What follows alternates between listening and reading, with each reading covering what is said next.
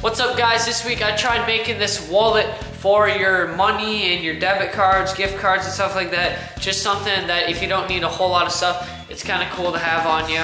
Now, if uh, I would highly recommend getting a fatter rubber band for this and cutting out some notches. I talk about that later in the video. But uh, this is kind of just a fun idea. I was trying to think of something outside of the box. There's three simple steps to enter. Like, share, and comment all on this video. If you do that, you will be entered into the contest and hopefully this is just a way I can try to help give back to you guys a little. I only have money to give away one t-shirt right now. Otherwise, I'd like to do two or three or something like that, but I'm only giving away one right now. So thank you guys for your support. Like, share, and comment all on this video, and you will be automatically submitted to win that t-shirt. And from there, I'll contact you on what size, color, etc., etc. The contest cutoff date is gonna be ending next, we'll make it at um, Monday at 5 o'clock, I will pick a winner. So if you're not submitted by next Monday at 5 o'clock, I'm cutting it off and I'm picking a winner right at that time. And the way I'm gonna pick it is I'm just gonna go in the comments under the video, scroll up and down real quick, and whoever's uh, user I land on will be, uh, I'll check, make sure they have it all. And if they get it, then I will contact them and say, congratulations, you'll be, uh, I'll uh, tell you guys in next week's video on Tuesday and uh, just something real simple and kind of fun to do. So uh, let's go ahead and start working on this wallet now.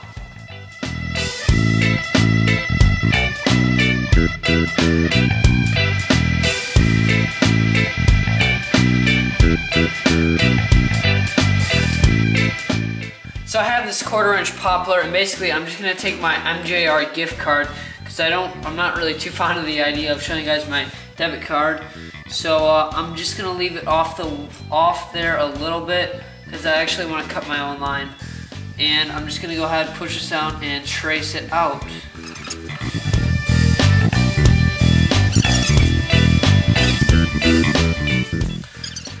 So now I have two of these cards and I can go ahead and go to my scroll saw and start cutting these out. So it's a pretty easy thing to cut out. What I'm gonna do is cut off all this extra material first and do the individual cards themselves. And if you want to do like, uh, like say you want to cut out a design on the inside, go ahead and do that now and put that all that template stuff on there. But I'm actually going to be doing some wood burning, so I'm going to wait till after I cut it out to make sure it's cut out how I need it.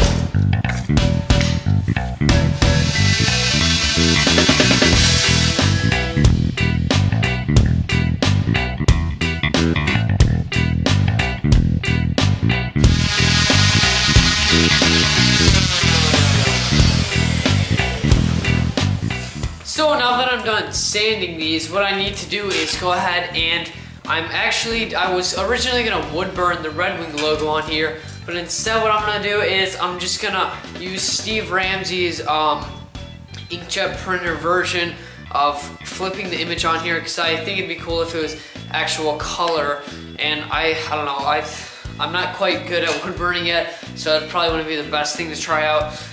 But uh, eventually I'll do some more, but right now I'm just gonna do it, um, do the image flipping thing, and I'll leave a link in the description below if you want more information on that to Steve's video. He does a great job of explaining it, and he created the idea himself. So it's, it's a really cool um, technique, and I think it will look great on this wallet.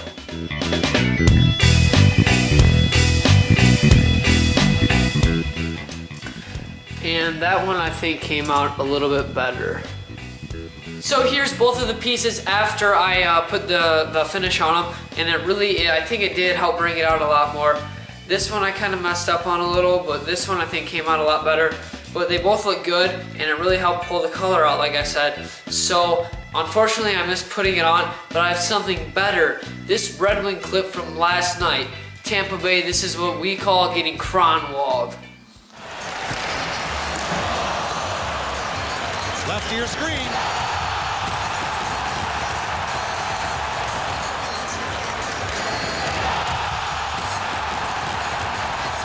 Well, the question that they'll have, oh boy, he hit him in the head. Wow. Looked like the arm got him in the in the face, and that's usually the kiss of death for penalty or more. The question is. So I couldn't miss out on showing that clip somewhere in this video. So uh, go Red Wings. Now I'm gonna go ahead and attach the uh, the uh, Velcro onto this and finish off this wallet. Okay, so my original idea was use Velcro and stick these all together. Then I just, I kind of made like a, a huge catastrophe out of it, kind of. It didn't really work out the way I was thinking. Velcro is probably not the way to go on this because it, uh, it takes up too much space and it covers everything up. So I'm just gonna go ahead and take this off and I'm gonna show you guys my rubber band idea. I'll just jimmy rig it for now and I'll fix it later maybe when I can find a thicker rubber band, I'll probably order online or try a few other stores. But basically what it is, is you take your money and all that. Now this obviously isn't like a permanent wallet, but it's kind of just like something that's kind of fun to do. And uh, so you take your money, you can fold it in half is what I would do.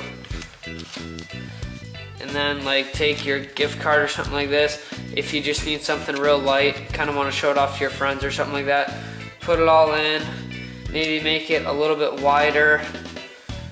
And uh, what it is, what I was saying about the rubber band is you leave the rubber band on and it works as a clamp so it pulls all this together.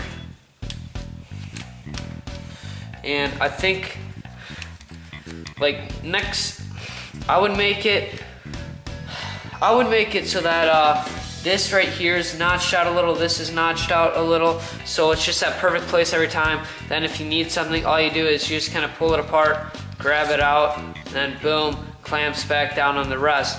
But you need to find like, I want to find a thick rubber band and um, probably a red one for this one. But uh, a thick rubber band I think would work best. And just when there's no money or anything in it, you have those notches so it always comes, it's always just sitting like this perfectly. And it's not, it's not a nasty rubber band, obviously, but then when you want to put money in it or something, you can fold it however you want. This might work a little better.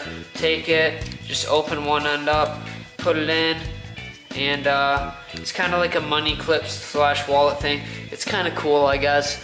Just, I was trying to think of something different and kind of outside the box, but I really think a different rubber band could make this a whole different ball game.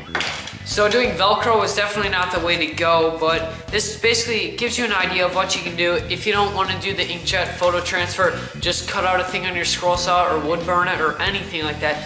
These, these have potential to be really cool, guys. Um, just like I said, cut out the notches on it, get a get like a thick rubber band, and I think it can look like it can look pretty cool. I think something to show off to your friends or something like that. And then when you need it, you just pull it up, open it up, and it closes back on itself.